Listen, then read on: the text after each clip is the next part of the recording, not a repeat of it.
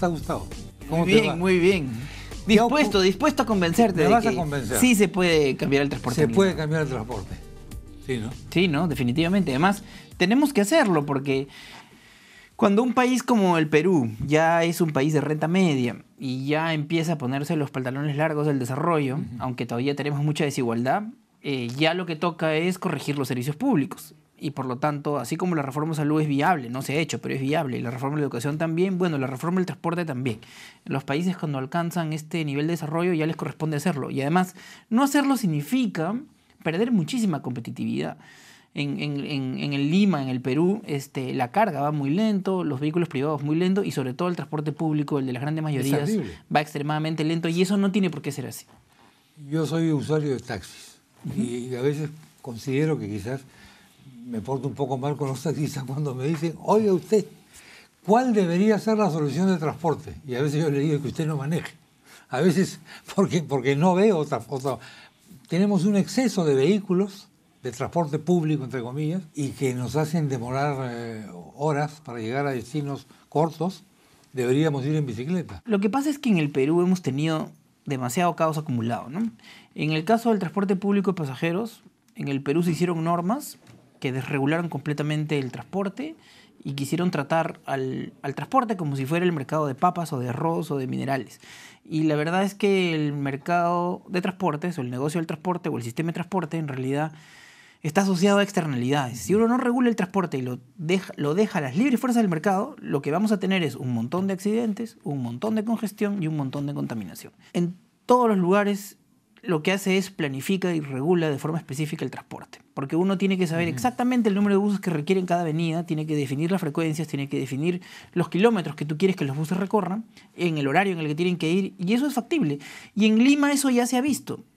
Creo que todos son testigos de que el eje del metropolitano ya funciona. Ahí están los alimentadores del metropolitano, que nosotros hemos triplicado, está el eje de la troncal, y eso es lo que nosotros queremos. La única diferencia es que los corredores complementarios no vamos a tener, digamos, infraestructura segregada como el metropolitano en la zona troncal, pero las cosas van a funcionar muy parecido. Es decir, vamos a pasar de tener 60 rutas y 60 empresas matándose por un pasajero adicional en la Javier Prado a tener entre 3 y 5 consorcios operadores en Javier Prado, igual que en el metropolitano.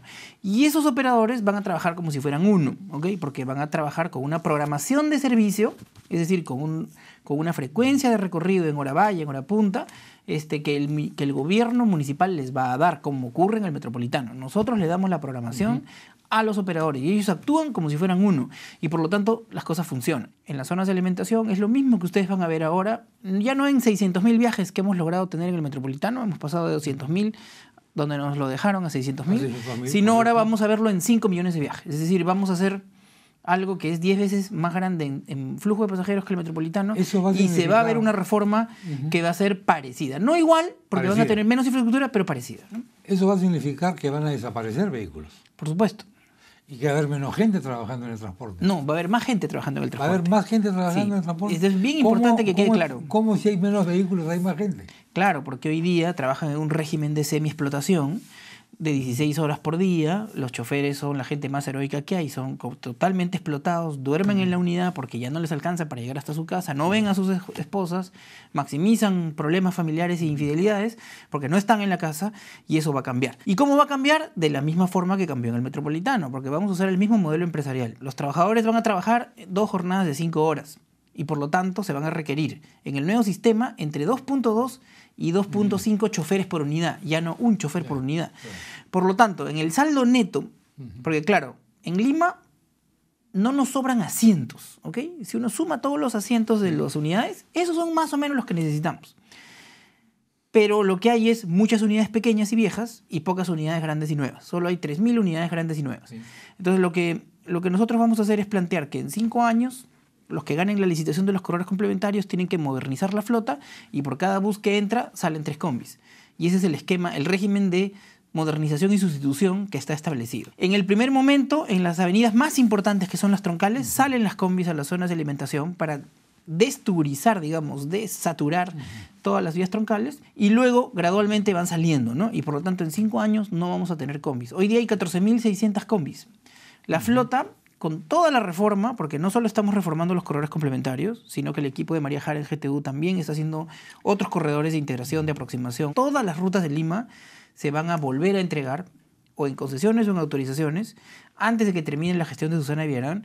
Y, es, y toda esa reforma conjunta va a bajar la flota de 31.500 unidades a 16.500, ¿no es cierto? Ese es el, el tránsito en el que vamos a hacer. Exactamente. ¿Qué antigüedad tienen las combis en este momento en promedio? En este momento la combi es representativa del sistema, tiene un promedio de 22 años, igual que el sistema en general. Tremendo.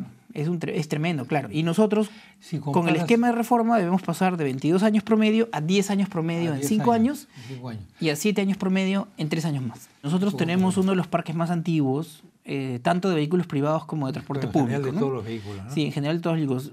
Eh, curiosamente, el taxi, el taxi es el, tiene el promedio menos viejo, digamos, ¿no? Porque solo hay, de los 100.000 taxis, solo hay 35.000 con más de 15 años. Todos los demás tienen una edad que más o menos es una edad aceptable. En parte porque pues, es un negocio y porque ha habido una modernización de taxis vía el sistema de, los créditos, de los créditos con gas, ¿no? este, que ha sido interesante, que ha renovado el parque. Y además, es interesante decir esto, ¿no? Hoy día, ¿por qué son más viables la reforma del transporte? Porque hoy, mucho más que antes, la demanda por choferes de la minería, de la agroindustria, de diferentes actividades, está generando que haya una salida de choferes hacia otros lados. En el transporte interprovincial y de carga, faltan choferes, hay problemas. Tanto faltan que el ministerio ha tenido que decir que bajar los requisitos para ser chofer. Ya no se requiere, por ejemplo, secundaria completa, porque no hay, ¿okay? no hay suficientes. Entonces lo que va a ocurrir es que nuestra reforma es intensiva en empleo y por lo tanto lo que vamos a tener que hacer es una gran capacitación para entrenar cobradores para que sean conductores. Porque lo que sí es cierto es que van a sobrar cobradores que son bastante más jóvenes. ¿Cómo se hace esa capacitación? Esa capacitación la estamos haciendo, ya hicimos un, primer proceso, eh, la hacemos en alianza con el Touring Club, en el marco del, como nos van a descentralizar los brevetes, y el Touring Club quiere seguir trabajando con la municipalidad, en el marco de los acuerdos para seguir trabajando la emisión de brevetes con el Touring Club, ahora que pase el Ministerio de Transportes a Lima, al gobierno de Lima, este, ellos se han comprometido en ayudarnos con parte de esa capacitación. Y, este, y por lo tanto son cursos de recategorización para cobradores que tienen un, un, brevete normal y que vamos a pasarlos a que tengan un brevete profesional. La variable contaminación, porque la contaminación ambiental en nuestra ciudad es vehicular. Por supuesto. Principalmente. Dos tercios de la contaminación aérea es por el parque viejo de transporte público Dos principalmente. tercios. ¿Cómo variaría eso? Digamos, es cierto que puede haber un millón de carros privados en Lima, pero esos hacen casa-trabajo, trabajo-casa. ¿Ok? Es decir, no hacen tanto daño. Los que dan vueltas todo el día son el transporte público y los taxis. Entonces, hay dos cosas que el municipio ha hecho y que nunca se habían hecho antes, que es que hemos regulado el cronograma de salida por antigüedad. ¿ok? Entonces, tanto en buses como en taxis hay un cronograma de salida por antigüedad. Y ese es el mercado para el chatarreo, porque aparte de que en los contratos de concesión va a haber un proceso de modernización y sustitución ¿no? de carros viejos y, y chicos por carros grandes y nuevos, el cambio ambiental en cinco años va a ser brutal, va a ser muy significativo, porque primero, los carros nuevos son Euro 4 a partir del 1 de enero del 2013. Ya no están entrando a Lima al transporte público ningún carro que sea menos de Euro 4, que es una calidad 50 veces menos contaminante que el Euro 2, que era el mejor bus anterior a la gestión de Susana Villarán. Entonces, lo primero es, la flota nueva no solo va a ser nueva y va a sustituir una flota vieja en este esquema de reducción de flota, sino que además es flota con una tecnología Euro 4 que es 50 veces menos contaminante que el vehículo mejor que teníamos antes. Entonces, claro, el efecto conjunto de una reducción del parque, una modernización en 5 años para bajar de 22 años a 10 años promedio, más el haber pasado de Euro nada ¿no? y carros altamente contaminantes a Euro 4, te genera un efecto conjunto que va a significar que nuestro cálculo es que la mitad de la contaminación actual causada por el parque automotor este, va a desaparecer.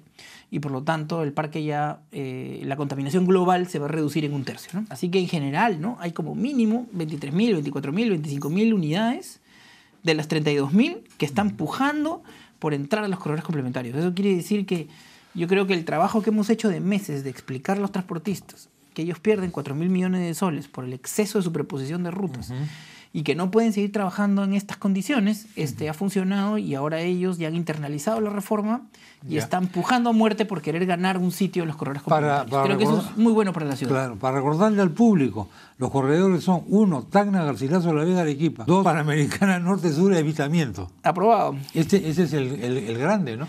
Ese es uno de los más importantes, sí, porque es el corredor. Después del metropolitano Panamericana es el que más pasajeros del transporte público tiene en el Perú. Tres, Javier Prado, La Marina. Hasta el límite con el Callao. Hasta cuatro, San Juan del Urigancho a Bancay, tremendo. Sí, hasta la Recorrido. Brasil. Hasta la Brasil. Y el cinco, Carretera Central. Venezuela. Hasta el límite con el Callao. El límite con el Callao. Esas son solo las troncales, ¿ah? Aparte hay rutas por alimentadoras. supuesto. sí. Esto ha sido lo que hoy día han recibido ustedes. Sí, hoy día hemos recibido. ¿Cómo se procede en este momento, a partir de ahora? ya, lo- a partir de ahora, digamos, el día de ayer se recibieron hasta las 10 de la noche. Hubo algunos que se quedaron llorando en la puerta porque llegaron 15, fue una pena que no hayan podido llegar un poco antes. Este, cada postor traía unas cajas gigantescas porque Me son imagino. miles y miles de hojas, ¿no? Porque ellos Me tienen que sustentar la propiedad de cada vehículo, la tarjeta de circulación, Cada el vehículo, título habilitante, o sea, es todo un tema porque esto es como el inicio de la formalización. Es decir, hay dos asuntos fundamentales que cambian el modelo empresarial y que nosotros lo estamos obligando, condicionando en la licitación, que es para firmar contrato, ellos tienen que llenar un formulario en que los propietarios se comprometen a pasar el carro a propiedad del consorcio operador. Eso es tremendamente importante. Parece poco, ¿ya? Pero es tremendamente importante. Y segundo, antes de firmar contrato, los trabajadores tienen que estar en planilla. Esos dos cambios que pueden parecer muy simples No, no, pues son todo. claro. ¿No es cierto? Y eso es lo que va a hacer que tengamos empresas sólidas que puedan funcionar en el nuevo sistema de trabajo. Nosotros en verdad lo que estamos licitando son kilómetros recorridos. Claro. En la licitación lo que nosotros les decimos es, en esta avenida yo quiero que tú me pongas esta flota que recorra estos kilómetros.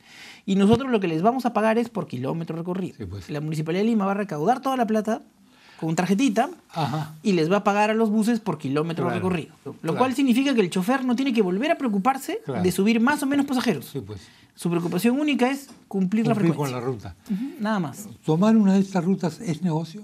¿Va, va a ser negocio? yo creo, yo estoy convencido de que es negocio. Primero porque se pierden 11 millones de soles diarios por el exceso de superposición de rutas actual que no deja vivir a nadie. ¿No es cierto? Hoy día, en el desorden actual, las empresas tienen 60 rutas en Javier Prado, distintas, matándose por un pasajero adicional. ¿Tú crees que alguien puede planificar un negocio en esas condiciones? No se puede. Nuestros mecanismos lo que van a hacer es que van a agarrar la flota actual y la van a reubicar.